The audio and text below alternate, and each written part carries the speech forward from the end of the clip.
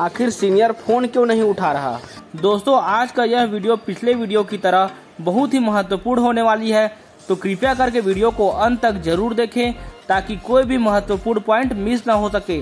साथियों अगर आपने मेरी पिछले वीडियो को अभी तक नहीं देखा जिसमें मैंने लोगों के और डाउनलाइन के फ़ोन न उठाने के मुख्य कारण का चर्चा किया है अगर आपके भी फ़ोन को आपके कस्टमर नहीं उठा रहे हैं तो यह वीडियो खत्म होने के बाद एक बार ज़रूर देखें।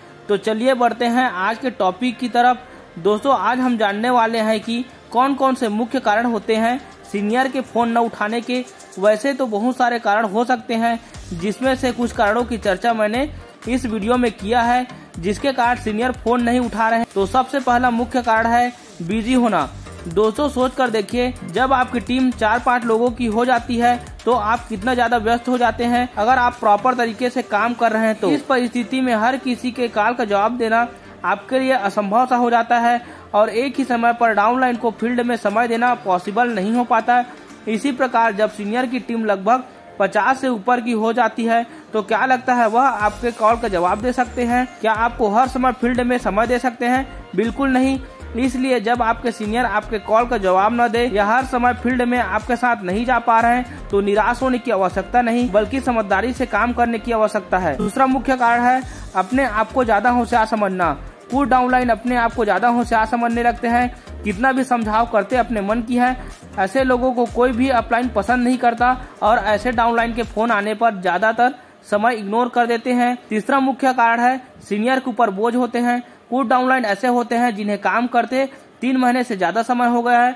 फिर भी प्लान दिखाने के लिए या फॉलोअप के लिए अपने सीनियर को खोजते रहते हैं। कारण वह सीनियर को अपने फ़ोन को ज़्यादातर समय इग्नोर करना पड़ता है ताकि वह मजबूरी में खुद ही प्लान दिखाने या फॉलोअप में जा सके। चौथा मुख्य कारण है फर्जी नेचर। कई डाउनलाइन ऐसे होते हैं जो घर में होते हैं और सीनियर की कॉल आने पर बोलते हैं, मैं फ़ील्ड में हूँ। दस की जगह पंद्रह इन्विटेशन बताते हैं। कई लोगों के प्रोडक्ट का पैसा अपने पर्सनल कामों में लगा देते हैं। ऐसे लोगों के फ़ोन उठाने से पहले सीनियर को दस बार सोचना पड़ता है। और पांचवा मुख्य कारण है, हमेशा कंफ्यूज रहने वाले और परिस्थिति का रोना रोने वाले लोग।